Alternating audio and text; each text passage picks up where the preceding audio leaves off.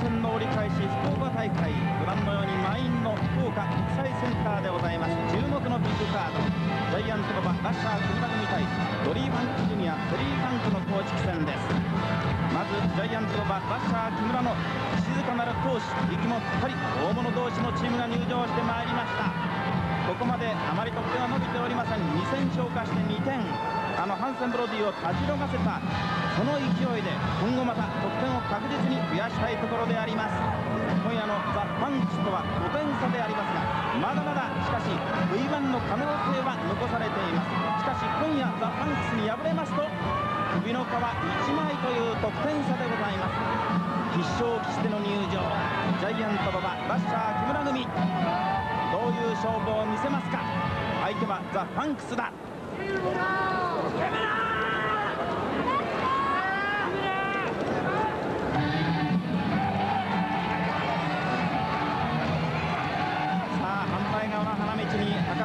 注目しています。全国の会場でニュー・ザ・ファンクスを披露しております。ドリー・ファンクジュニアテリー・ファンクの入場。その勇姿そしてファイトに熱っぽい感動の嵐を巻き起こしております。テリー・ファンクドリー・ファンクジュニア。この福岡博多この気質というのもまあ、一つには男っぽいというところが魅力の一つなんでありますけれどもこのテリー・ファンクの生き様そういったものに惚れ込んでいる九州男児がたくさんいらっしゃいます。まあ、それにしても1年半ぶりのカムバックテリー・ファンクが非常に底抜けに明るい表情でこのリーグ戦に参加しています。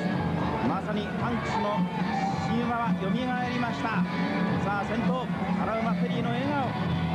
そしてその後ろ落ち着き払いましたドリー・ファンクジュニアの笑顔。鮮やかな連携プレーでここまで4戦勝化無傷の7点単独トップに立っています。さあ4度目の V へ一歩近づいたザ・パンクス堂々の入場。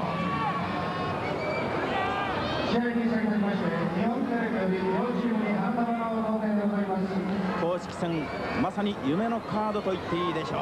30分の一本勝負試合に先立ちまして日本テレビ福岡放送から両チームレフリーに花束が今送られました。早くも歓声が沸き起こっています。テリー・コール。そして一部の間にラッシャー木村へのコールも聞かれます。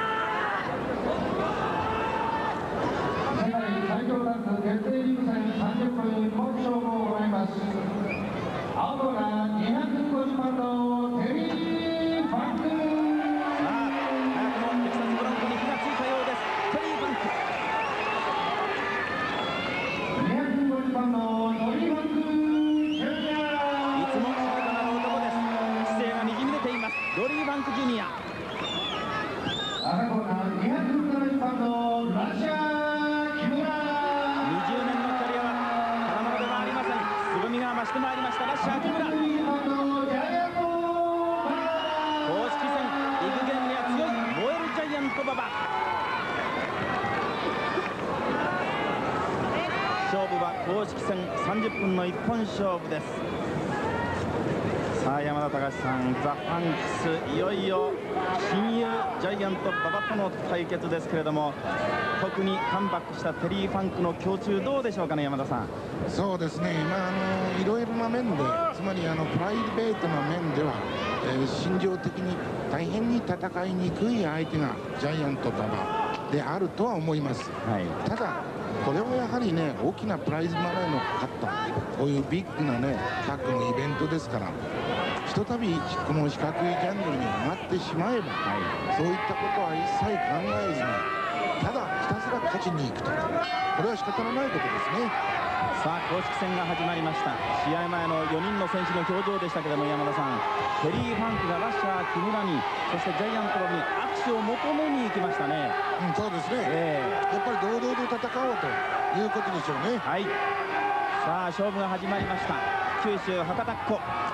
テリー・ファンクのこのいわゆる男っぽい生き方に共鳴するファンがたくさんいますがししかしテリーのコールもありますけれども山田さんラッシャー木村のカムバックを祝うかのようなこのコールもありますね。そうですね、えやはりあの木村選手というのはですねやっぱり闘将というか、はい。戦い方が大変にやっぱり男っぽいですからね、ええ。ー九州のファンの仇には合うんだろうはい。と思いますね、まあ、ラッシャー木村ゴーゴー木村というコールは非常に気持ちは嬉しいと思いますがかつて山田さん帰れ帰れというような屈辱的なコールを受けたこともありましたね。そうですね。えただ私はあの今回ですね、あの木村選手がこのリーグ戦に馬場選手のパートナーとして出場するという決まった時に、はい。まあ心の中でいろいろこう考えたですね、ええただその自分がどの程度やれるだろうかと考えたラインより木村選手がはるかに上の実力であったということが大変に嬉しいしそれと同時に馬場選手はさすがにいいパートナーを見つけたと思いましたね。本当ですね。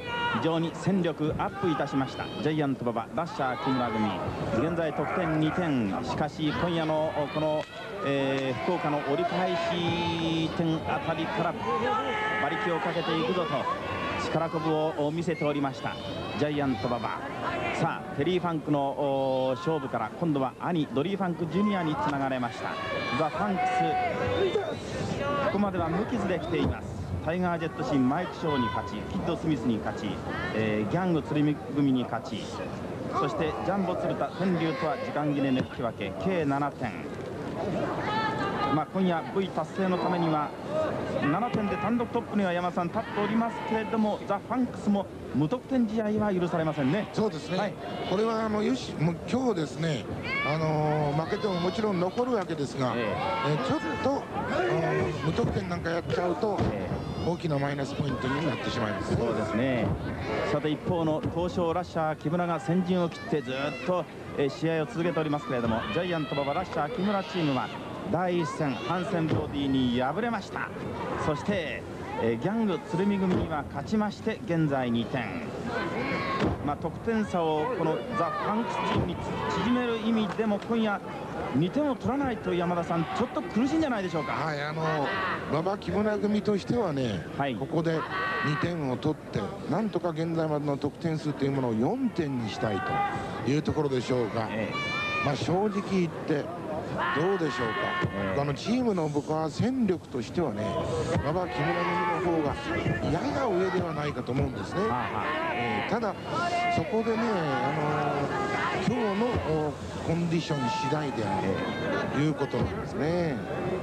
一方の現在得点7点でトップの位置を確保しておりますザ・ファンクスですけれどもいよいよ山田さんハンセンボディとの復讐戦名古屋決戦刻一刻と迫ってますねそうなんですね。はまああのーこれはゆファンクスとしてはね、今回優勝という言葉よりも復讐という言葉の方が余計出てるわけですい、ね。えで、あのドリーの方にしても絶対弟のテリーのために復讐を手伝うと。で、テリーは俺は復讐するんだと。ですからね、それがまあ図らずも V 戦線のトップを走ってる、はい。でちょっと言葉とは裏腹な現象が出てきたわけですよね。やっぱり大目標は復讐じゃないかと思いますね。そうですね。さあリング上注目の顔ぶれ公式戦ではありますがこういう夢の顔ぶれ登場でございます。テリー・ファンクそしてジャイアント馬場。あの引退の時にもジャイアント馬場に散々世話になりましたテリー・ファンク。そしてカムバックの際にもジャイアント馬場の助言が効きました胸中何をもって戦っているのか。テリー・ファンクにとりましてもこのレスリング人生山田さんジャイアント馬場の存在というのは大きいですね。それはもう大変に大きいだと思いますね、はい。まあもちろんそういった意味でねそのプライベートな面ではいろんな友情とか付き合いとかというのがあるわけです。が、まあ、ご覧のようにね一度リングに上がってしまえばこれはもうやっぱりお互いにねプロの闘志ですからね、まあ、もうガンガンいきますね。はい、さあファイトむき出しの勝負に出てまいりました。ビッグゲームには強いジャイアント馬場。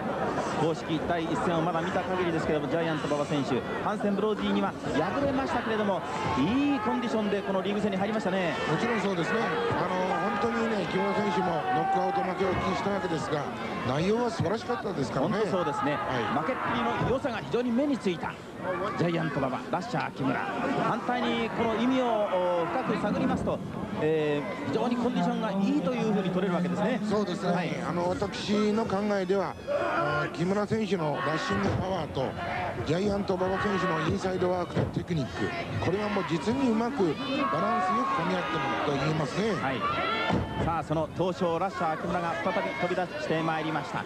相手はテリー・ファンクであります本当にいいパートナーを得ました。ジャイアント馬場。誠に現在までのところ交渉にふさわしいファイトぶりでございます。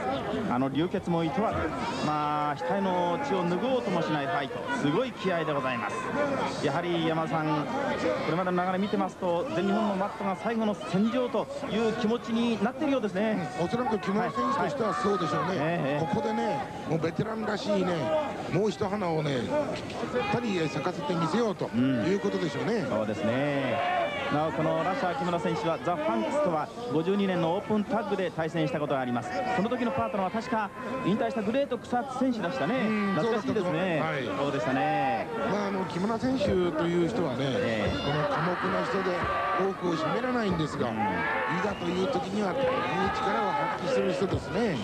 ね。ですから馬場選手があのパートナーにした場合ですねこのコーナーから一刻安心して見てられるという感じが強いですね、はい、私も非常に興味がありまして馬場選手におけば聞いたんですけれども入念なこの作戦の打ち合わせみたいなことはほとんどしないんだそうですね。はい、えー、それはねやはりあの馬場選手にしてみれば木村選手というのはもう俺のやり方は分かっているだろうと、まあ、これだけの大物ですから、はい、任しておいていいということでしょうね。なるほど。いわゆるあうんの呼吸ですよ。なるほどそうですね。さあ逆エビの体勢長時間決まっています。さあ館内のお客様が一斉にコールを始めましたテリーコールですね、うん、そうですね。ね。まあ今やられてますからね、えー、ここで頑張って跳ね返してほしいと。さあ脚力で返します。今の返し方を見ておりますと山さん両膝の故障もそう気にはならないようですね、うん、えー、そうですね。まあ大変にその闘志のある人ですからね。弱みは見せませんねどよめきこのコブラツイストの入り方が鮮やかに決まっています。これは今のどよめきは山田さんラッシャー木村への称賛ですね。えあのなかなかねこの木村選手というのはファイタータイプですから、はい、ああいったそのいわゆる鮮やかな技っていうのは非常に意外性がありますね、え。さあドリー・ファンクジュニアがテリー・ファンクに今声をかけました。さあグランドコブラの体勢になります。グランドコブラ。そして肩が今一瞬つきました。カウント2まで入ります。さあいい体勢でラッシャー木村から。ジャイアント馬場へのいや2プラトンの攻撃。いや馬場です。16万カウンター砲が決まりました。さあ効いたぞ。まだカバーに行きません。山田さん1回ではカバーに行きません。おっと今度はコブラ。コブラ決めます。腰を折ります。コブラツイストジャイアント馬場さらに絞り上げる。あちょうどね、はい、ここからあのテレファンク選手の背中が見えるんですがもう真っ赤。真っ赤になってあのよじれてますね、えー、膝のあたりの角度はどうですか？うんあの非常にがっしり決まってますよ。決まってますか？はい、はい、コブラツイストを決めていますジャイアント馬場であります。容赦しません。今度は反対にテリーがテリーが体の位置を変えて体の位置を変えてあっとあっとこれでグランドコブラには持っていけますがどうでしょうか。さああっとこれは決まります。グランドコブラグランドコブラグランドコブラ。そして今度は回転するローリングクライドル。ローリングクライドルに入ります。あっと見事に決まります。ローリングクレードルそしてそのまま肩をつけます。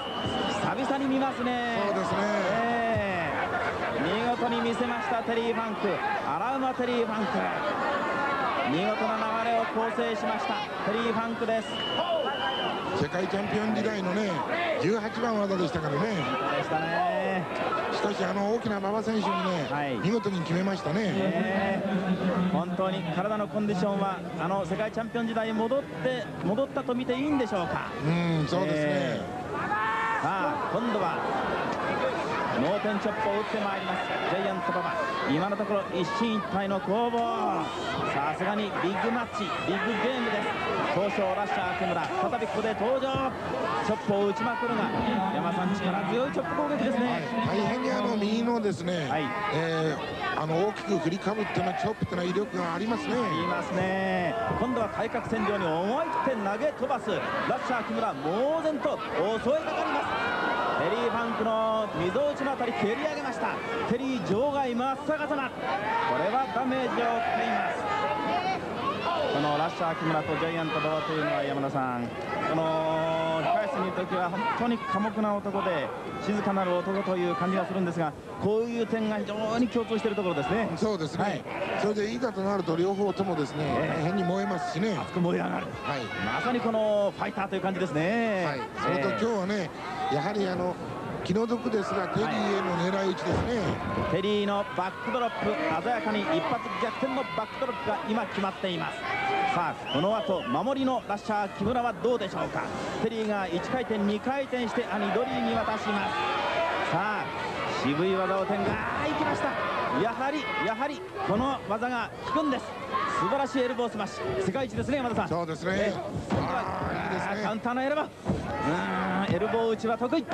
ドリー・ファンク・ジュニア本当に一発一発がですね、はい、ずしずしんと決まりますからね。全く手足が出なくなりました。ラッシャー木村倒されます。素晴らしいエルボースマッシュ。エルボーバックもうたまらずジャイアント馬場にタッチ。さあドリー・ファンク・ジュニアとジャイアント馬場過去も何度も名勝負を見せました。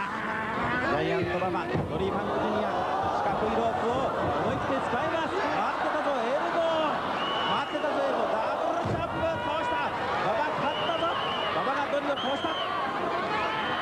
この後の流れ今度はスピニングトーホールド1回転2回転したどうだ2回転で左の足で蹴り返す馬場も相手のタイミングをよく知っています。チョップを打つ。さあ逆水平。ジャンチョップがもう猛然と上がっています。今度はバックドロップ。ドリーのバックドロップが決まった。これは山田さん効きましたね。うんいい角度本当にいい角度でいきましたね。一瞬ジャイアント馬の顔面真っ青苦しいいやさすがに20年のキャリアですドリー・ファンク・ジュニア。もう一発一発の技が本当に効きます。さあおっとうまく外したタイミングを外します。さあ16番でドリーを倒す。テリーが飛び込んでいきますが真っ逆さまさあ相手はドリー・ファンク・ジュニア。ドリーを取られるか？なんでいくかなんでいくかバー16番カウンターの16番そのまま抑え込んだ。得点2か。得点2か。得点2かドリー返します。がぜジャイアント馬場のペース。ジャイアント馬場のペース。小技がけ小技がけ小技を通し。リングの中央。波状攻撃ジャイアント馬場。さあどうだ？優勝に向かって爆心のポイントになるか？どうだ？あっとドリーも返します。さあ押せ押せムードジャイアント馬場。ここで再びいいパートナー。バッター木村のヘッドバック。ズキヘッドバックズキ。この2段攻撃。そしてブルードッキングヘッドロック。リーの体がよくれた。ラッシャー木村に渡します。王将ラッシャー木村ヘッドバットをペリーをまず上腕に送り込んで相手はどっちだ相手はどれだ勝負正面を向いて今度はヘッドバット正面から打ちますまだ今夜は、え流血はありません。ラッシャー木村起き上げという威勢のいい掛け声をかけた。ペリーにはチョップもうチョップがよくきますね山田さん。そうですね。えー、ペリーが吹っ飛ばされます。さあペリーが吹っ飛ばされます。ラッシャー木村おーすごいすごいすごい。すごいすごい木村のチョップが1回転いますしかし右のパンチ右のパンチから左。しかしパートナーがパートナーが違いますね。そうですね、えー、これ相手はまだタッチしておりませんジョー樋口レフリーが注意を与えます。さあラッシャー木村のラッシャー木村のパー相手は相手はドリーだ。ここでジャイアントババも猛然と出てまいりました。ラッシャー木村ちょっと興奮状態。ジャイアントババがドリー・ファンクジュニアに逆転で場外ではラッシャー木村ヘドバットの猛攻ヘドバットの猛攻馬場が木村を呼んでいるそうですね、えー、ダメですね。今しかしジャイアントドリーはジャイアント馬場をリングの中に引きずり込んだ。ああラッシャー木村ラッシャー木村気がつけない。危ないぞこれはリンガー取られるぞ。危ないぞラッシャー木村なんて気がつかないんだ。ラッシャー君は気がつかない。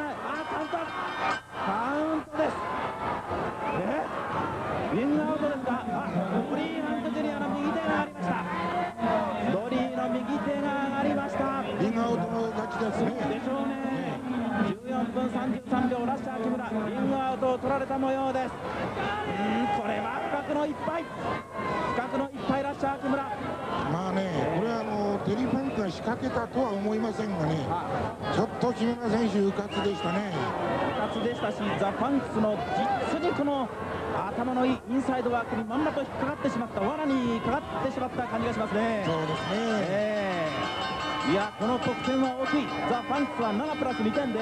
9点。9点、はいもう優勝へ優勝へもう一歩も二歩も近づきました。